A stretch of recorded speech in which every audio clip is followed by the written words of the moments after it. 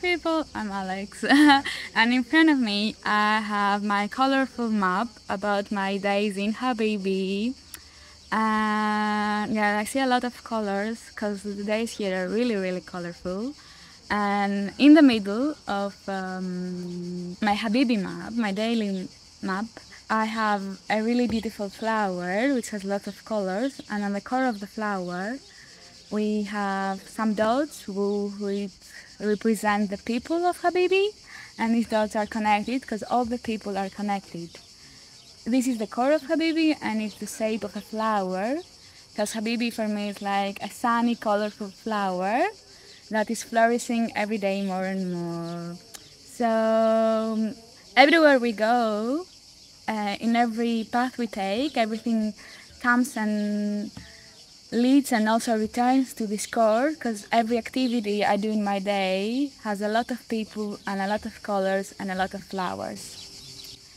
My first station of my map is Elang, which is gray because sadly in the morning first thing I do is to have a cigarette and that means black lungs and hospital and it's not good.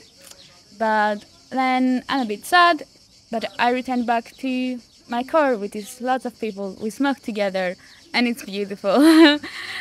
and um, after smoking, then there is a small, small path that leads to the kitchen because I have my breakfast. And the kitchen is really colorful. It has a lot of flies. You can see some dots above the kitchen that represent the flies and the kitchen is really colorful because always has a lot of people and a lot of music playing around. I love playing Tur- uh, Arabic music and Turkish music in the kitchen is my favorite.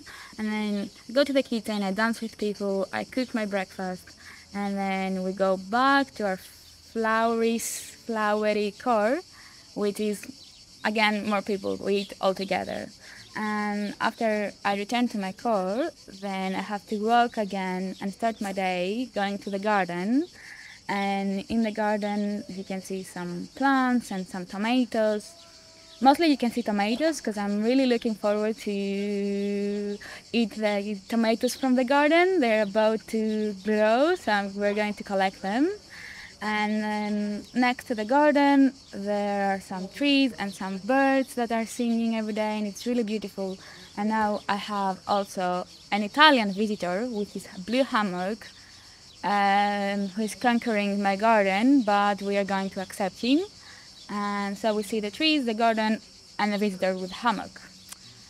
Then we have a path that from the garden leads again to the kitchen because everything we take from the garden goes directly to the kitchen and we cook again.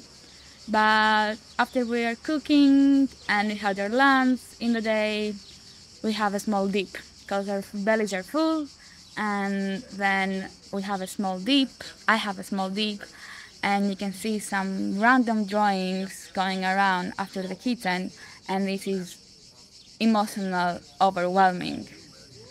So here, this weird black drawing represents my chaotic emotional situation. So sometimes I'm sad, sometimes I'm happy, but when I'm inside this maze of emotions, I see some path that leads to some hands that are hugging each other and this represents the hugs that I always take and give to the people I love in Habibi.